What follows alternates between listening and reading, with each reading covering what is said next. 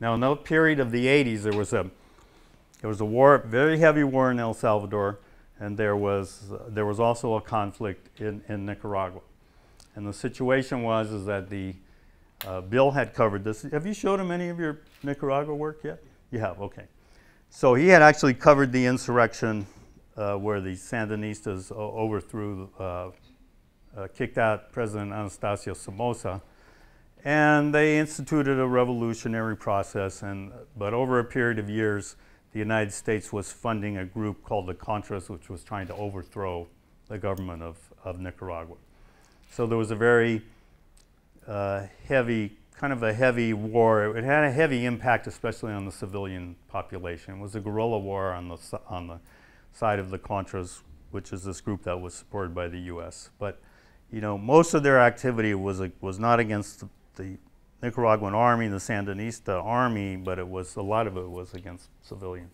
So I went down. Um, I originally was going to go down for three weeks. I had some some stories to cover for some publications in San Francisco, and uh, I ended up staying five weeks.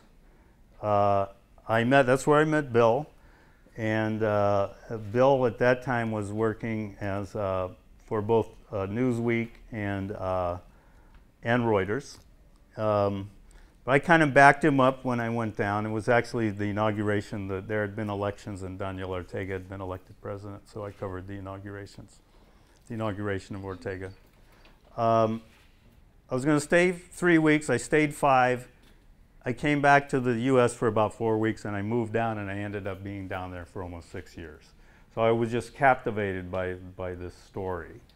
It was also a, it was both the story that needed to be told, and it was also a big opportunity for me um, because Bill ended up with a staff job at Newsweek, and so he had to cut his ties totally with Reuters, and I ended up with a staff job with Reuters.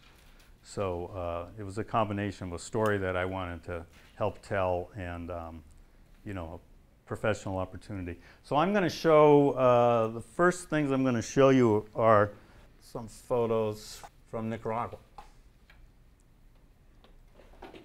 Nicaragua was a very poor country, and one of the things that had happened in 1972, that, which actually had a, a, big influence, I think, on the, the, the, revolution in 79, or the insurrection and overthrow in 79, was the earthquake. There had been an earthquake that had devastated the capital now this particular photo, uh, it's the, it was the old cathedral in Managua that had been damaged in the earthquake. These guys were using it as an indoor stadium, playing a little baseball. So this was also a big uh, financial story, and there was a, the United States put a trade embargo on Nicaragua, so it made it very difficult. That added with the war made a very difficult economic situation, so there was a lot of shortages in the, in the society. And that's what this was. This is for a story on the economic situation. This is a situation where I didn't quite just happen on this photo. I saw, I saw these elements. Even though it's a news shot, you know, I saw this as, as a great artistic, a great compositional, you know, vehicle. But it's a story about how it's affecting the people. So just a photograph of these shelves, I mean, really didn't mean much. So I planted myself here and I waited till somebody came around and, and came towards me and I made, and I made the shot. So you should, all, you should always be thinking, you always be thinking, you know, and things aren't always going to happen just right in front of you. You know, sometimes you have to help give them a little, uh, give it a little help. But the real story in Nicaragua, the, the overriding story, was the war and the effect that it was having on, on on everybody, but, uh, but primarily on the civilian population.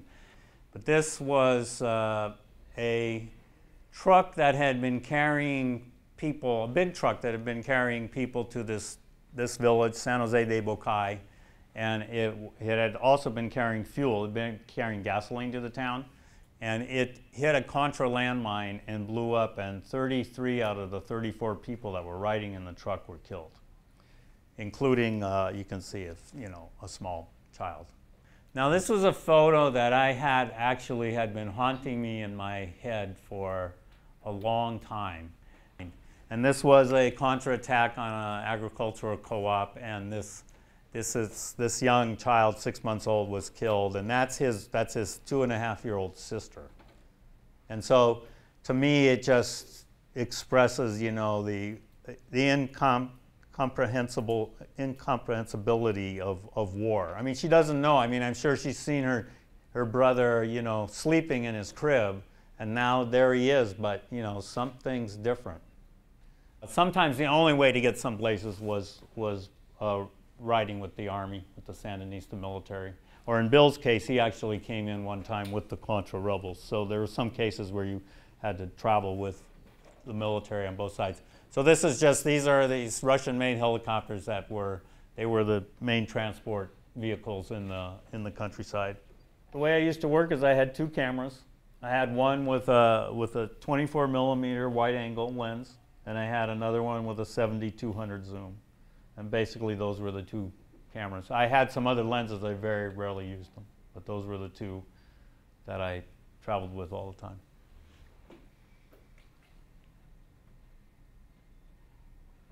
You see some very, very difficult stuff when you're covering war. These are, these are four dead Contras in the road, and behind them, the Jeep is our Sandinistas.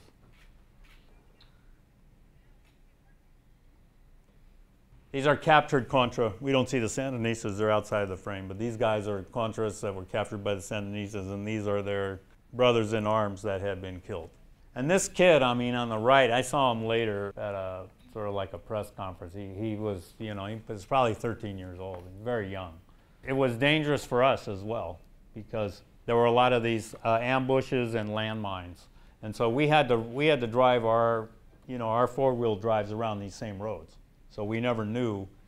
Uh, we were always, I was always worried, you know, we may hit a landmine or the Contras may ambush us and, they, you know, think we're, well, or maybe not be thinking. Uh, I don't know if you ever knew this, Bill, but these I actually was was captured by the Contra rebels on the Atlantic coast of Nicaragua, and these are the guys that captured me after they held me all day and they and they let us go. They they let me take this picture of them. Uh, but we were there covering the Miskito Indians being allowed to move back to their to their villages. They had been rounded up earlier and they had been living in resettlement camps, and they came to an agreement with the government and they allowed them to go back. And so we went, we covered this movement back to the villages, and we went to this one village, and unbeknownst to us, there were Contra rebels right nearby.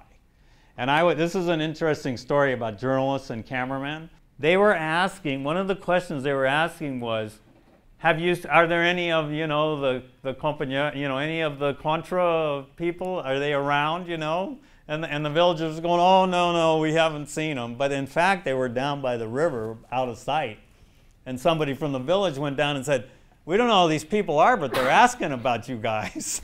and so, oh, great. So then they surrounded the village and they came in from all sides.